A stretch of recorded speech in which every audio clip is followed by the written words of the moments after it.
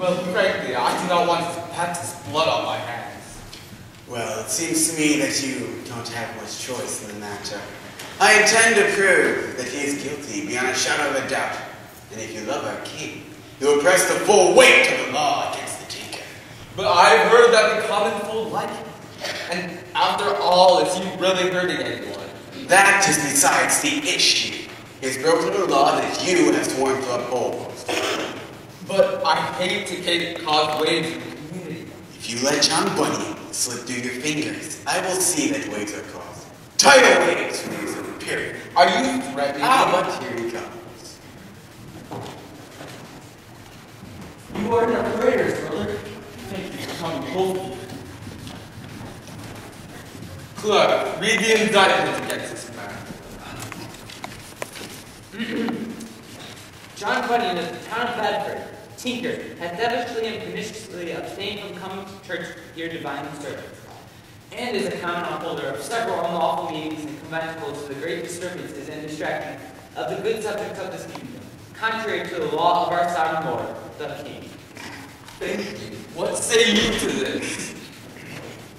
As to the first part, I am a faithful attendant of the true church of God. In fact, I am a member with the people over whom Christ is the head. But do you attend church? You know what I'm talking about, the parish church to hear divine service. I do not. Can you tell the court why? I cannot find it commanded in Scripture. Then how? With the Spirit, Then if we are commanded to pray with the Spirit and with understanding, and we are also commanded with the common prayer, No, no, no. But the prayers in the common prayer book are written by other men and are not the motion of the Holy Ghost within the heart. Amen. Well, what do you think prayer is? Do, do you think it's simply to say a few words among the people? No, not so. For many men may have excellent or elegant words and yet not pray at all. True prayer is when a man out of want, which sense is put in him by the Holy Spirit, pours out his heart before God through Christ. This is true prayer, though it may not be in so many or so excellent words as those of other men. Yes, that is true. Sir, what do you have against the common prayer book? If you will allow I shall lay down my reason against it. You may. But take caution. I um, take heed not to speak irreverently of the common prayer book. If you do so, you will bring great damage to yourself. Proceed. My first reason is that it is not commanded in Scripture, and therefore I cannot use it. Allow me, Judge Keelan. Where, pray tell, do you find it commanded in Scripture that one should travel to Elstow or Bedford, yet it is lawful to go to either, is it not? To go to Elstow or to Bedford is a secular matter and not material. But to pray is a sacred, not secular thing, and therefore should be done according to the commandments given in God's Word. Let us in no further, it will do us harm. No, no, we are more established than that. He can do no harm. Both you and I know that the common prayer book has been in use since the apostles' time. Not so. Show me the place in the epistles where the common prayer book is written. And just even show me one passage of scripture that commands me to read it, and I will use it. But I do not intend to, for it is simply not there. Well, then you would totally disregard the common book of prayer. To them that have a mind to use they have their liberty. I would not stop them from doing so. But as for me, I can pray to God without it. Mm. Then who is your God? Beelzebub, you must be possessed by a demon of delusion to think that you, for one proud moment, is more spiritual or superior than the Church of England is, is presumptuous. Nay, worse, heretic. We are commanded to meet together, to pray, and to exhort one another daily, while it is called today. And do you obey that command? I do. Then he confesses the indictment. Do you not? Answer the question. This I confess. We have had many meetings together, both to pray to God and to exhort one another. And we have had the presence of God among us as a sweet and calm presence. Then he confesses the indictment. No, I only admit that we have had meetings. Your course is clear. Yes. Will you promise not to bring the people together anymore? If so, you will have your liberty and go home. I, I can make so much, no such promise. I only do what is commanded to me in the Word of God. You insolent tinker!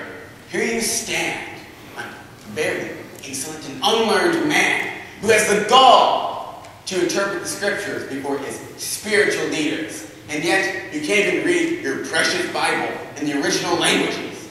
If it is your opinion that only those who read the Bible in the original language can understand it, then none of the poor class would be saved.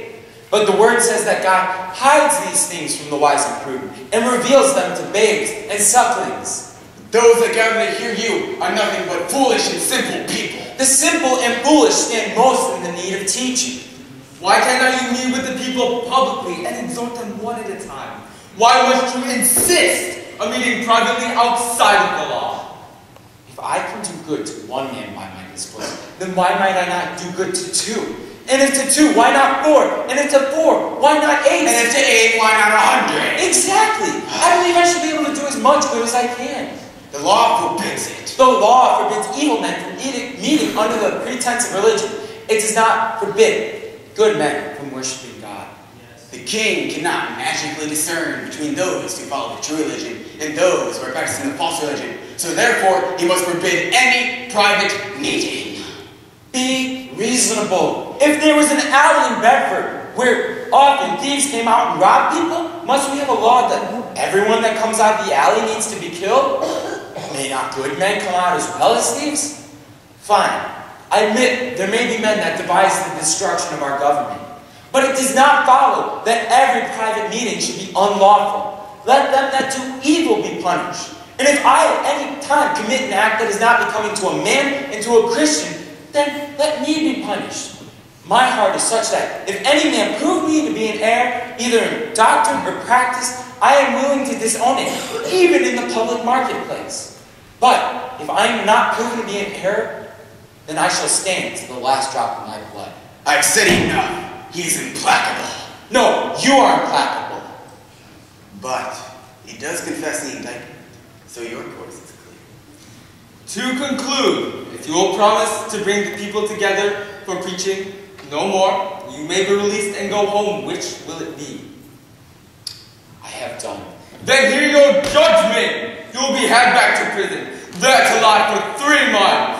This is justice? And if you and after three months you do not submit to honor the common prayer book and leave off your preaching, you will be banished from the realm. Impossible! And if you are not gone by the day appointed, or if you return to this realm prematurely, you will hang by the neck, I tell you plainly. Hang by the neck. Order! Order! Take him away! I am at the point with you where if I were out of prison today, I would preach the gospel again tomorrow. Over over away, and do the